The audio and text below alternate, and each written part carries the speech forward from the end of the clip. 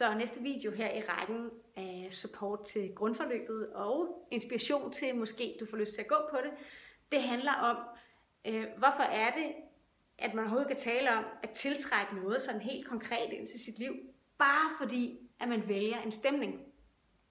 Det er sådan set en øh, kemisk, fuldstændig logisk sammenhængende reaktion, som foregår, eftersom at vi accepterer kollektivt, at alt er energi, alt er lavet af energi, alt er molekyler, som er sammensat i strukturer efter, hvordan de vibrerer. Vi har jo alle sammen lært om det periodiske system i kemi og fysik, og vi har lært om olier, to fasers tiltrækning. Ligger man to dråber olie ved siden af hinanden, tiltrækker de hinanden.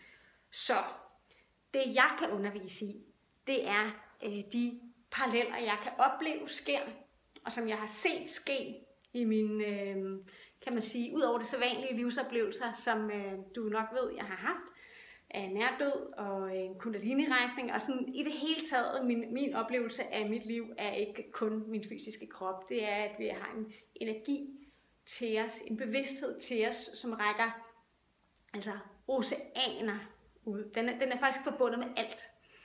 Og inde i det sådan matrix, kan man sige, der er det fuldstændig tydeligt for mig, og jeg ved, det virker, for jeg kan se, det virker, og jeg kan mærke, det virker, at den, nu kommer det, stemning, jeg vælger at have, som så er min beslutning, min determinerede beslutning om, hey, jeg vil faktisk gerne have det fuldstændig fantastisk. Jeg vil bare gerne have total lykke og fred og jubel og begejstring.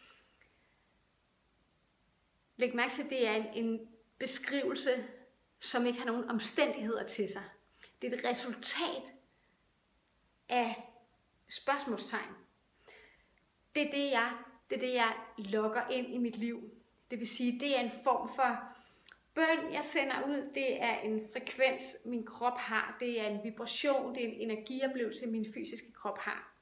Fordi det er den stemning, jeg vælger at have, uanfægtet hvad der sker uden omkring mig. Fuldstændig. På trods af alt vælger jeg hele tiden så godt jeg kan. Og det er derfor, jeg også ved, hvordan man skal undervise i at komme omkring alle sit sinds snørklede ting, fordi det har jeg jo selvfølgelig også, og noget jeg dealer med for mig selv. Øh, og jeg har fundet så mange gode måder at håndtere sindet på, så at man kan blive på den der sti, og faktisk sende øh, sin energi ud i livet, og så se stille og roligt, hvordan det tilfældigvis lokker oplevelser til mig, helt konkret mennesker, personer, økonomi, steder, ting, hele det her sted også, til mig, hvor jeg føler den her følelse af hjemlighed og lykke og frihed og rum og plads og muligheder, som så er den oliedråbe, jeg er. Hvad kan man sige, jeg bliver sådan en magnet, hvor jeg tiltrækker ting og, og sager, som vibrerer ligesom mig. Nu må jeg ikke sige, at øh, en, en, altså en, en ting vibrerer ligesom mig. Den her der papir har ikke nødvendigvis den stemning, som jeg har, fordi det er papir. Det kunne være en stol, du kunne snakke om det her lokale.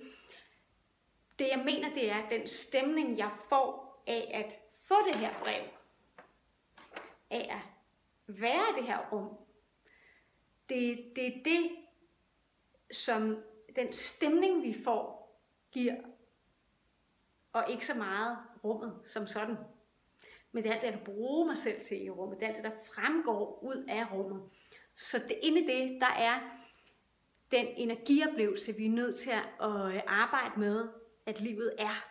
Og faktisk lære at, at være mennesker, der er på vej igennem livet.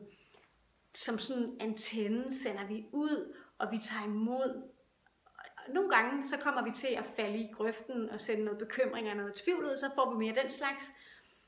Så kommer vi tilbage på stien og sender det ud med fred og glæde og tryghed og tillid, og vupsi vender det, kommer tilbage til os. Masser af ting, der giver den følelse. Masser af situationer, der giver den følelse.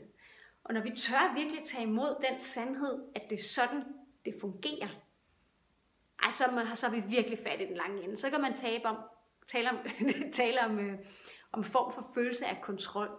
Det er en håndtering af livet, det er en håndtering af afmagtssituationer.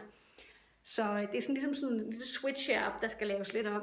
Men det er et, en, en velsignelse at surfe den bølge af at have tillid til lov om tiltrækning. Og lige sådan kan man opleve sig selv frastøde forskellige ting, som plejede at eksistere meget kraftigt i ens liv, af blokeringer eller øh, omstændigheder. Når man vælger hele tiden at have fokus på det, man gerne vil have, så sjovt nok ændrer de der omstændigheder sig på magisk vis i graden afhængig af, hvor meget tillid man har til, at det ændrer sig efter ens eget valg af stemning. Og det er der, hvor man bliver nødt til at være i tillid. Og bare vide, at det virker. Der er ikke noget andet, end det man selv vælger. Der er ikke noget andet. Det er det, der er. Det er det, man selv giver lov til, er.